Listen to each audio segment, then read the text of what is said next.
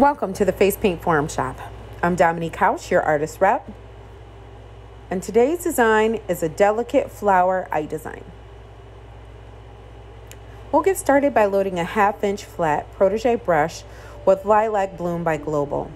We're going to wiggle it around in a circular motion, creating these beautiful petal shapes.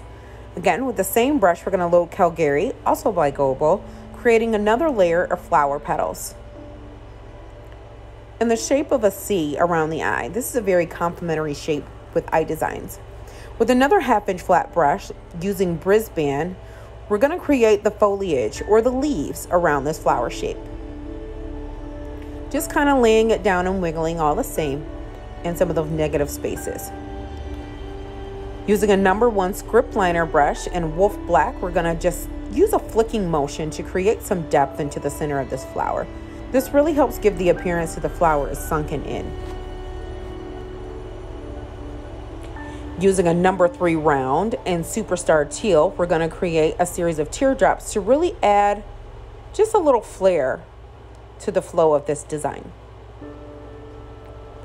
Going from thin, pressing down, then pressing down again, and then filling in some of the negative spaces with a series of a few dots and threes always tends to look good. Going back to the script liner with a Superstar ink blue, we're then going to create some depth into the other layer of flowers and giving them a, a little outline that's not exact, but kind of organic and gives a more delicate look. And the same for the center flower with a dark purple.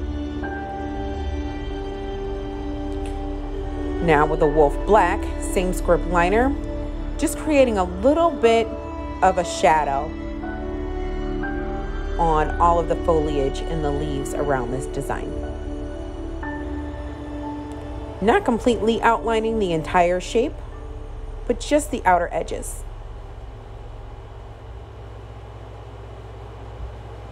Now with the number three round, we'll use a neon coral to create the center of the flower petals. And there we have it. We're all done. Thanks for watching. You can purchase all the products used in this video at facepaintforumshop.com.